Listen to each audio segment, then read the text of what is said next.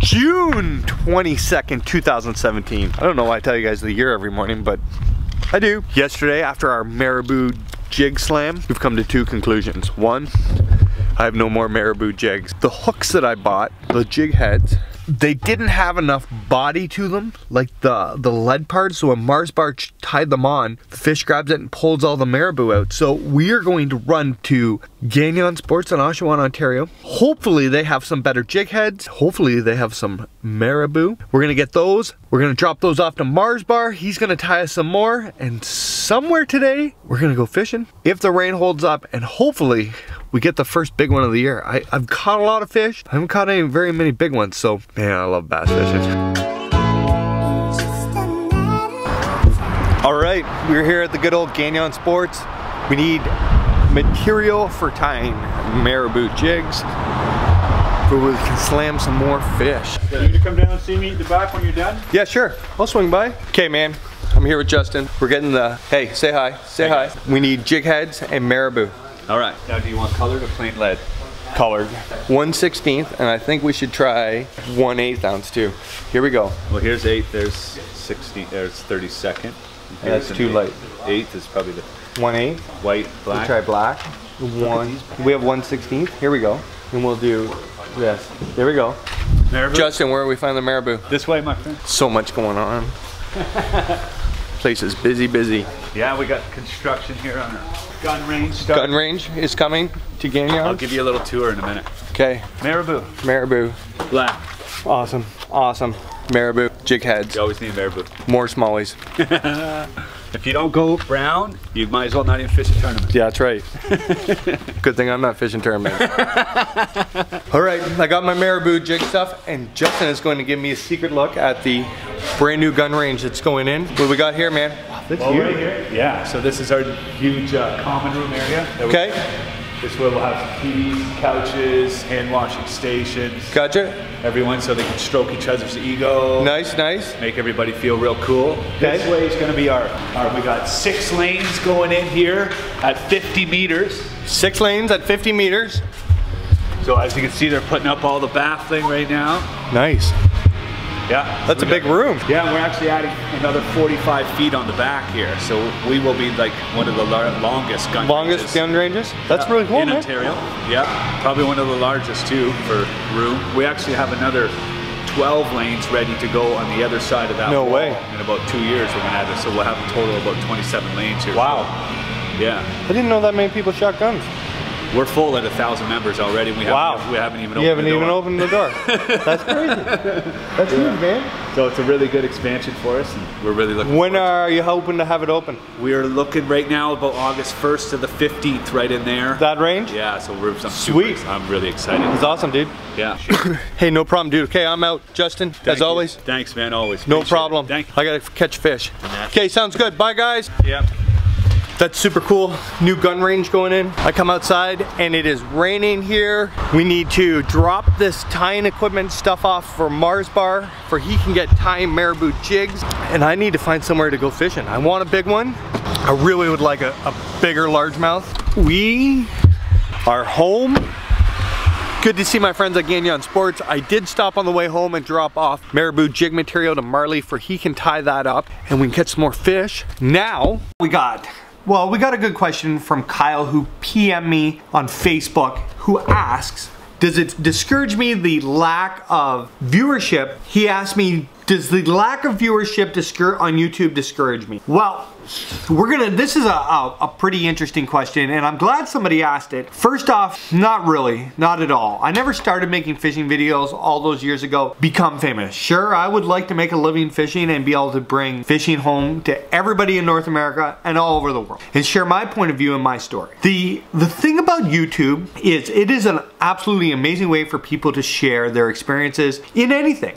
It's an open platform for anybody to share. But the really big accounts, if you look closely, there's a ton of money being spent to market. If you look at YouTube as a satellite provider and everybody's YouTube channel as a TV channel, the big channels with lots of money and lots of backing are the ones that get the most play. So here at Fear Fishing, we have zero money. Absolutely no money to market this channel that you're watching right now. We rely on you guys to share. With me being sick over the last year, we rely on clothing sales not to make money, but just to keep fishing. If we don't sell if you're fishing clothing, hats, I can't go fishing. I can't bring the vlog. So we're not making profit off fear fishing or the YouTube channel or anything at all. It's probably costing us money in the hole. The other side of this is when I got sick and I came home, I had realistically two options. I could lay on the couch and become depressed and my ADHD drive me crazy, or I could get out and do something. I only started the vlog basically to, for I would get up, do something, and then at the end of the day edit and upload something that I thought you know, was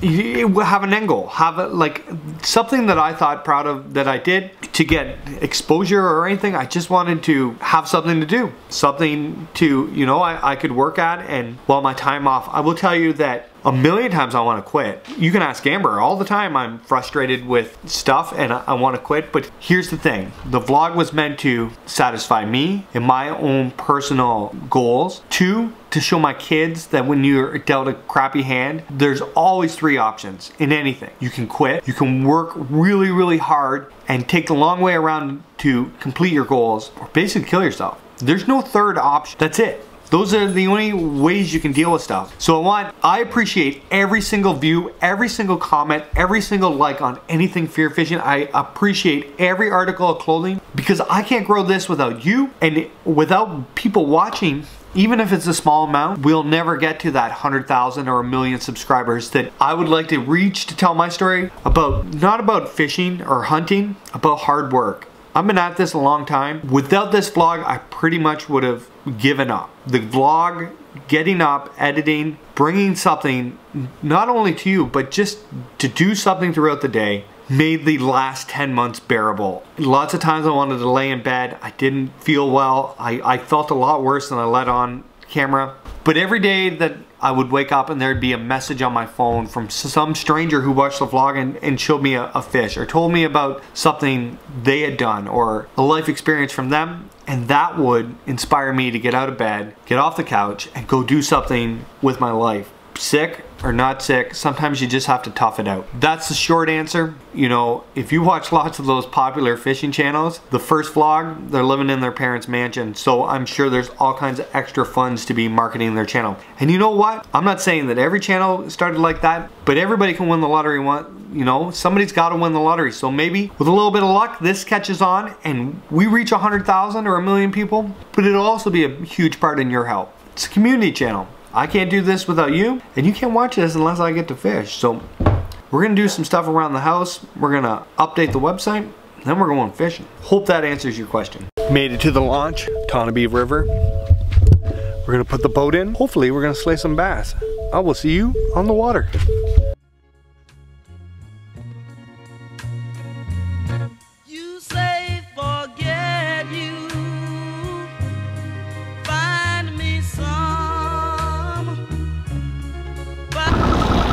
We're on the river. Let the garbage fishing commence. We're gonna do whatever it takes to uh, hopefully haul in some big largemouth.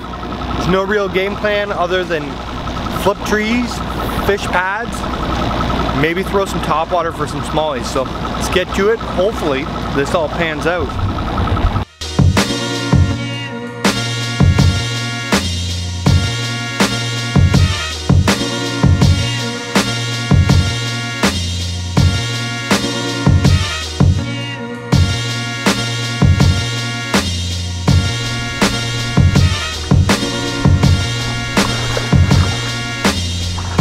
哈哈哈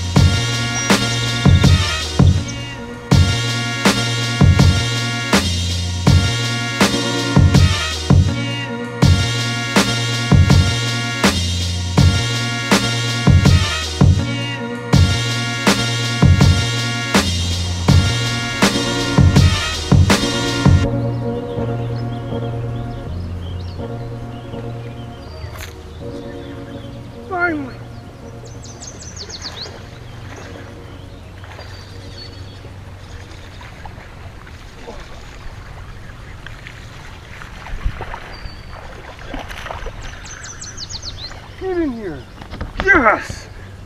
Yes! Oh! It's small, but I was starting to think I'd never catch a bass again. Gotta keep at it. Gotta keep at it. Find him some clean water. Yes! Heartbreak. Finally home. That was a tough go. I can't believe I lost those two big largemouth. Bonus muskie. Landed one dinky little bucket. My theory of the Otonabee River when the current is strong for bass fishing means it's horrible, especially largemouth. If you're getting them in the current out there, good on you because this guy isn't. On my way to fishing, my I was I was on a high, man. I thought, man, we are gonna knock this out of the park. It's nice and close. I know the river like the back of my hand. And boy, did was I wrong. Unbelievable how tough that was. Good day all around. Thanks to the good people at Gagnon for the tour of the new gun range. That's gonna be really cool when that's up. Marley got the stuff for the marabou jigs. Tomorrow we're gonna take a day off for the vlog. We're gonna I gotta get caught up around here. Good good highs week one first you know I think we got six days seven six days into the bass season in Ontario. It's been a good one. Fish are probably on post spawn it's going to get really good here in the next few weeks. It's good but it's going to get really good. So guys I want to thank you for all the support all the messages from today's vlog that I released about the hemochromatosis and George again. Amber really appreciates it best fans in fishing right here watching the Fear Fishing channel. Remember, share with all your friends. The bigger we get it, the more we can bring home to you. I'm going to go eat some dinner. It's like 10 o'clock now. Longest day ever. Gonna have nightmares about losing those two big fish, especially the one on the frog. Man, it was a tank. It is what it is. Big shout out to Rob Jackson, 50-50. Got a 50 inch muskie and a 50 inch garpike pike today. Check it out, go over to his Facebook. It's actually pretty cool. Giant fish. Thank you everybody, and we'll see you soon.